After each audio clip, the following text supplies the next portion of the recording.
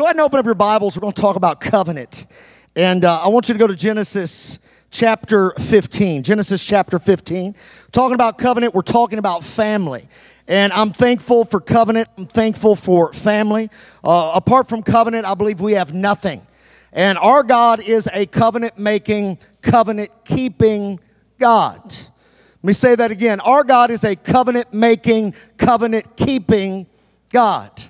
Let me say that one more time. Our God is a covenant making, covenant keeping God. Let me say that one more time. Our God is a covenant making, covenant keeping God. That means God makes a deal with humanity. And it's more than just any deal, it's the strongest deal that's ever been made on the earth. You see, today we make deals in our culture, right? You got to get the lawyers in. You got to get lawyered up. You got to get everything right if the deal's going to be done. As a matter of fact, I made a business deal with a group of people not long ago.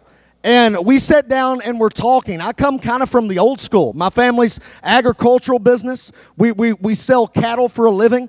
Uh, be fifth generation cattlemen. My, my family were cattle brokers. That means all of the big feedlots where they feed cattle at, we would find those cattle all out of the southeastern part of the nation and sell them to the Midwest. And the cattle industry still works on a handshake. It's kind of crazy. You'll make, a, you'll make a contract with guys that's worth millions and millions of dollars and it's still a handshake deal. It's the only industry I know like that in the world. How many y'all wish America was still operating on handshake? Y'all wish it was still like that? I wish it was still like that. So I make I make a deal with these people. Uh, it's on a business deal, and, and we're very we're very uh, clear about the terms. Here's the terms. Here's what we're doing. Here's your part. Here's my part. Here's the revenue split at the end. Here's what we're going to do. Uh, it seems fair to me. Does it seem fair to you? Yes. I stood up. I looked the man in his in his eye. I shook his hand. I looked the wife in, in, in their eye. I shook her hand. And I said, "We got a deal." Yes. I leave. I get on a plane. I go back, and I get a call next week, and they tell me the deal changed. And I'm like, "Wait a minute. We were very clear, right?" The stipulations of the deal were, were very strong, they were apparent. We could see that the deal was done. We shook hands, we looked each other in the eye. The business deal had been made.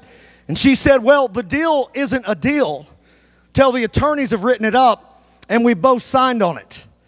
Now, say maybe in your word, a world, a deal isn't a deal until the attorneys have signed it.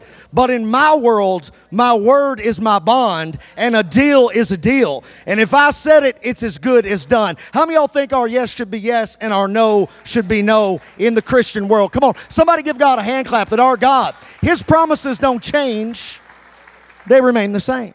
And so a covenant is a, a familial relationship made with God.